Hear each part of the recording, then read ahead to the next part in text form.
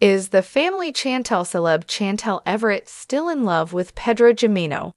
Is she showing it online? Her happy posts could tell a story.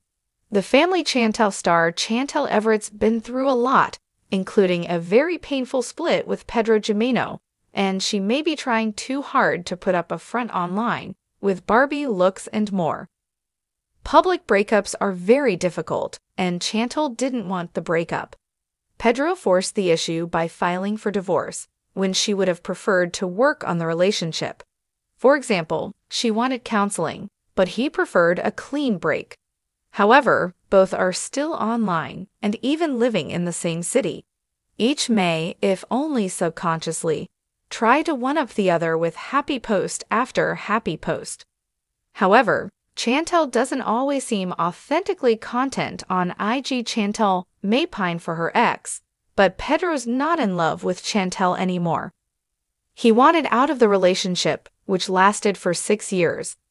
Although they don't spend time together, they're estranged and can probably never be friends. They surely see each other's posts. Sometimes, famous exes trade barbs online, but they don't. However, the worst case scenario is that Chantel's trying to attract Pedro with her posts, instead of accepting the end of their marriage.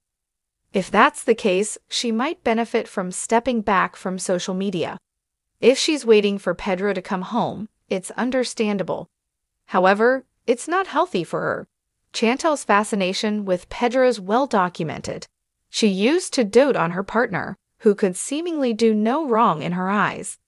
Even when Pedro's behavior was sketchy, and she had to deal with his insufferable mother, Lidia Morel, and sister Nicole Jimeno, she would argue with him and then forgive him. They went through that toxic cycle again and again, and Pedro's family members definitely didn't help the pair. In fact, they did major damage. Chantel's passion for Pedro burned hot, and now she may be psychologically scared from that searing heat.